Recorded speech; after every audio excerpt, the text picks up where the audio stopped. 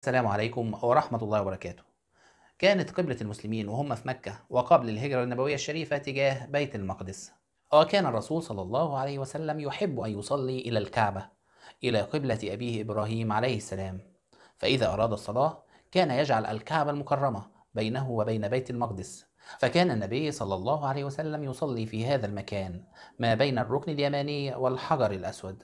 فلما هاجر النبي صلى الله عليه وسلم لم يستطع أن يجمع بين الكعبة المكرمة وبيت المقدس. فظل الرسول صلى الله عليه وسلم ستة عشر شهرا أو سبعة عشر شهرا يصلي تجاه بيت المقدس وكان يحب قبلة أبيه إبراهيم عليه السلام.